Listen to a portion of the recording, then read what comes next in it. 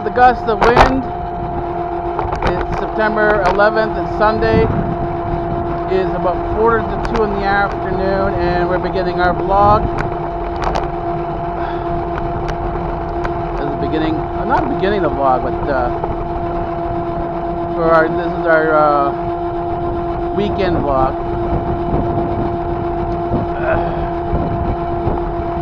And then I'm on the scooter again, get more of these scooter segments. So this is the beginning of the segment, not actually the vlog itself. So, but uh, we vlog uh, Saturdays and Sundays as one whole day because that happens sometimes. Some days, times, uh, two days will blend into one. It will become one day.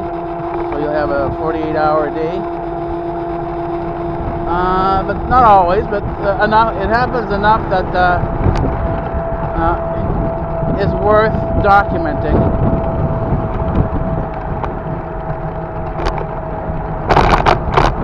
So now I'm going to try to do some uh, more of the regular vlogs as I drive. Of course, I've got my camera mounted as the GoPro. It's an outdoor camera. So, uh, completely, completely hands-free. And I know with the uh, uh, wind like this, I'm going to have to speak louder. So that my voice is heard above the noise of the engine and the noise of the wind.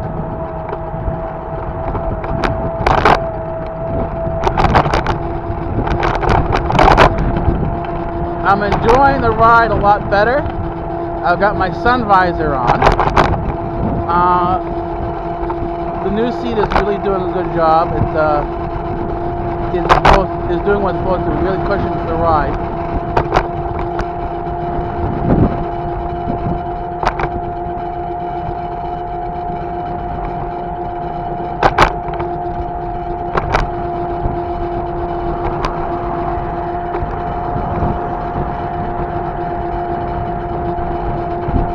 And I noticed the wind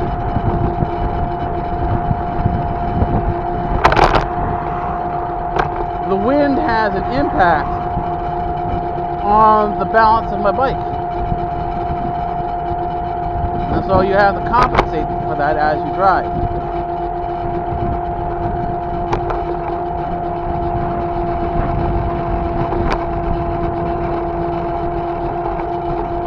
I'm going to use some of the bumps in the road. Because of course at a higher speed I'm not going to be able to avoid it. So I might as well learn to get over, get how, learn how to handle them.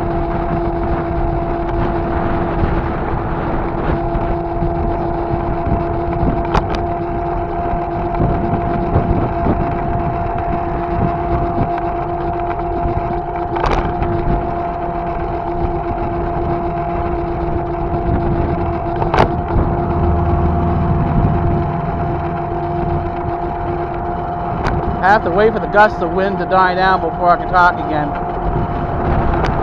That gives me a better option.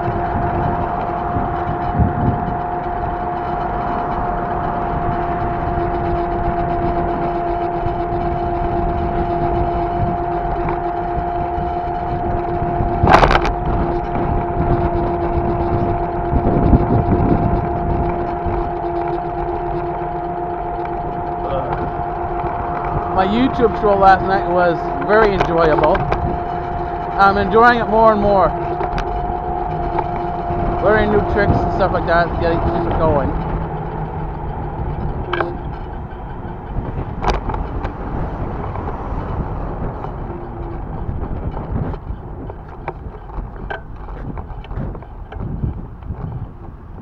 Okay.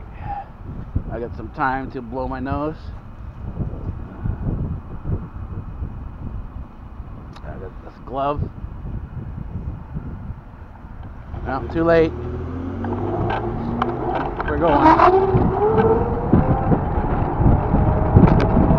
I have to wait till Corinthian to do this. My next stop. See, that guy is a smaller car.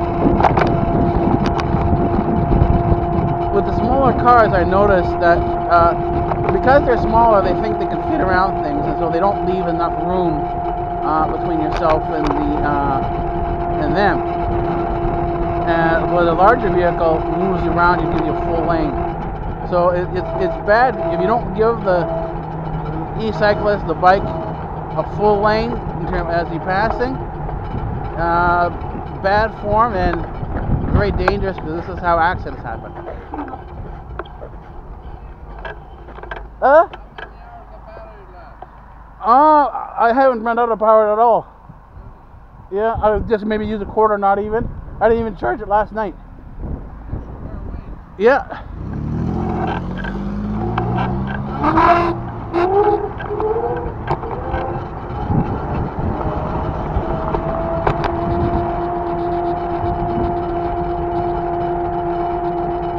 Friendly drivers. a little bit of a conversation there.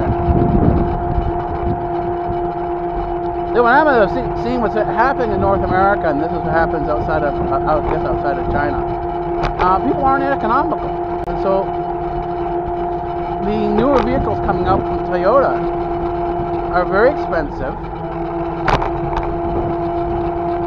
and they don't have much more power than what I have. Actually, they have less power. I mean, people don't.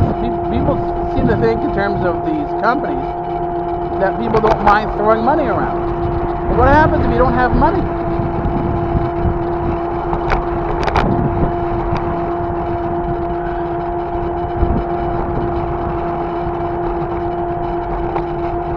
I mean, I'm an independent scientist. I don't get. I don't have large research grants. I have to finance my research on a very tight budget. If I don't do that, I can't get the research done.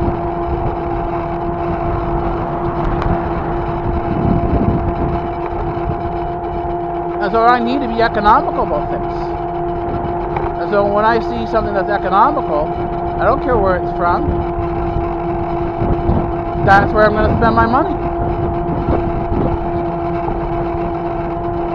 The question is, is that, uh, what about other people? Unless like other people wait until they go bankrupt and then they have to sell everything off. A lot of people do that.